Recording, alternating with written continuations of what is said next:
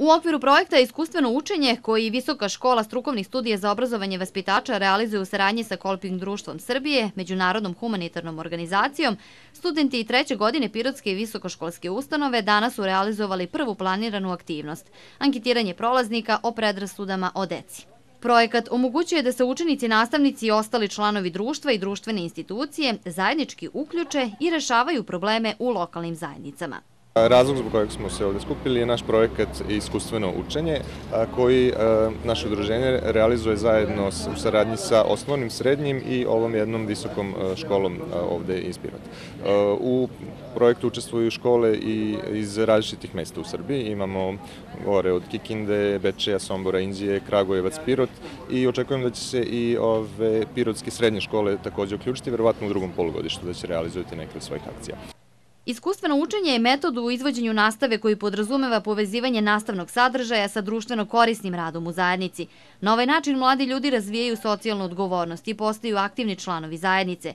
Usvojeno znanje i praktičan rad su glavni elementi ove metodologije rada. Naš zadatak jeste bio da pokušamo da povežemo sadržaje iz nastave sa e, nekim praktičnim iskustvom, odnosno sa lokalnom zajednicom, Pa smo mi tako u okviru kursa projektni pristup u radu sa preškolskom decom došli na ideju da e, organizujemo upravo ovu akciju vezanu za shvatanje o detetu.